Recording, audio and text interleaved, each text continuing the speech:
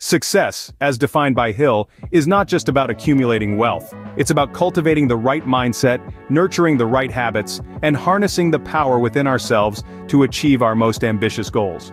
It all starts with a burning desire. A clear, strong obsession towards a specific objective. But desire alone is not enough. It needs to be backed by an unshakable faith, a deep belief that you can and will attain your desires. Hill suggests using positive affirmations to instill this belief and foster a mindset of success. This leads us to the principle of autosuggestion, a technique that involves influencing the subconscious mind to work towards your goals. It's about aligning your conscious thoughts with your subconscious actions. Then there's the power of specialized knowledge. Success often requires specific knowledge and skills, which can be acquired through various means beyond formal education.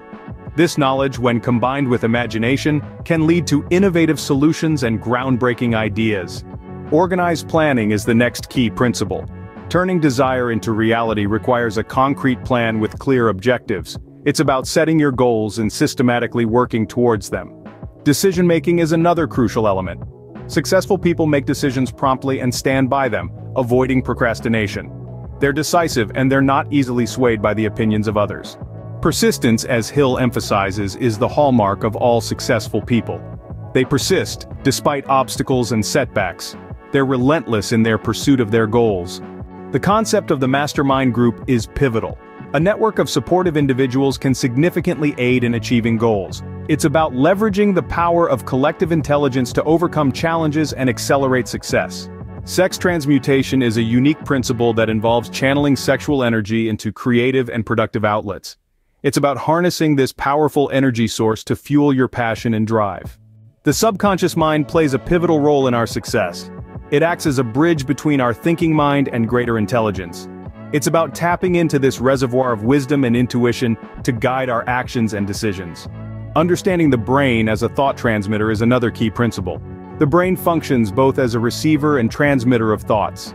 It's about tuning into the right frequency to attract success and abundance. And finally, the sixth sense. This inner intuitive faculty becomes pronounced through mastery of the other principles. It's about listening to your intuition and trusting your gut instincts. In conclusion, Think and Grow Rich is more than a book about financial success.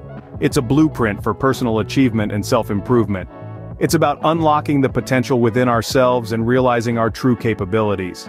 It's about thinking big and growing rich, not just in terms of wealth but in every aspect of life.